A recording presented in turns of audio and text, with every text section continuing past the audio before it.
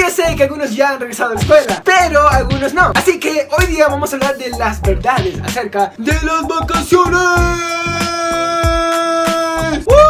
Sí, las verdades, no mentiras, porque aquí este canal es acerca de la honestidad y el buena buena confianza que tenemos tú y yo, yo y tú, tú y yo.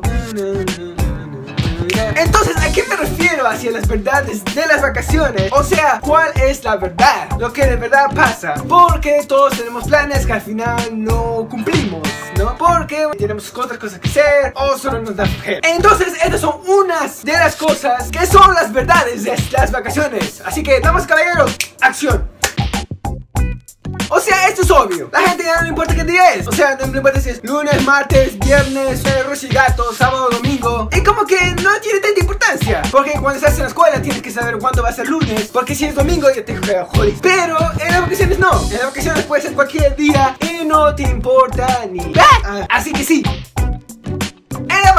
todos tenemos esta urgencia Como algo que queremos hacer tan tan Que nos urge, que nos excita. Y esto es ir de shop. Ya saben, con sus platitas y con sus carteritas Yendo hacia el mall como No, no, no, no, compro eso, eso, eso, eso y eso también Ah, pero no, porque al final de cuentas Realizamos que, que nos falta el plan No, no money caché Así que nos y no podemos comprar nada Aunque queramos, pero tenemos que pedir Y lo peor es que esos comerciales en la televisión Como que te dicen, te dicen que quieres, tienes que comprar eso. Y yo estoy como, ¡ah!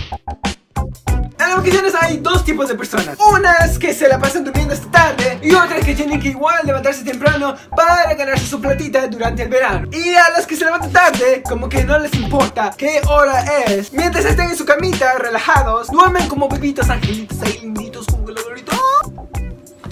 Ah, buenos días. Este rato ya imbécil nosotros siempre también decimos esto Como cuando estamos de vacaciones y dicen Oh sí, sí, sí, sí, yo voy a esa playa este verano Oh no, yo me voy en mi yate así para hacer con mi bitch todo lo que quiera Oh, pero todos sabemos que eso no es lo que pasa. Siempre lo pasamos como 11 horas al día Igual viendo Netflix o viendo videos por internet Como este Número...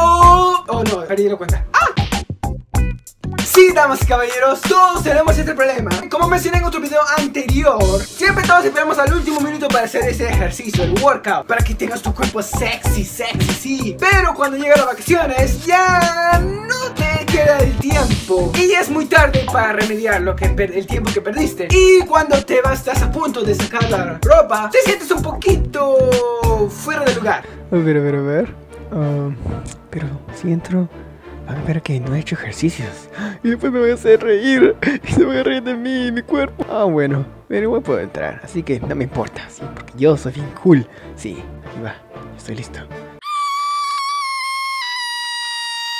Y lo último, y lamento mencionarlo, pero lo que más odiamos son los comerciales, la propaganda que te dicen que vas a tener que comprar, necesitas lápices, lápices, de verdad, lápices, mochilas, uh, cuadernos y todo está O sea, ¿qué carajo? O sea, ya sé, ya ya sé la fecha donde voy a entrar a clases. No me tiene que repetir cada vez que necesito estas cosas porque yo tal vez pueda encontrarlas yo solo, ¿no? O sea, preferiría que mi padre me diga a que me digan en los, la televisión, donde se supone que todavía debo estar relajado. Pero hay que ver. Así que estos fueron las verdades de las vacaciones. Probablemente hay muchas más cosas que no es verdad. Y si una de estas cosas es verdad para ti, comenta en los comentarios abajo. Y si tienes otros ejemplos. Y no se olviden de suscribirse a mi Twitter, Instagram, Facebook. Y háganse mis fans en YouNow. Y ahora también pueden seguir mi página de Facebook, donde voy a estar haciendo updates de los videos recientes que voy a hacer. Y de otros proyectos que también voy a estar trabajando durante el invierno. Así que no se lo pierdan. Y síganme. Denme un like. Un like, necesito un like. Y le quiero dar un shout especial a Tina, a Karen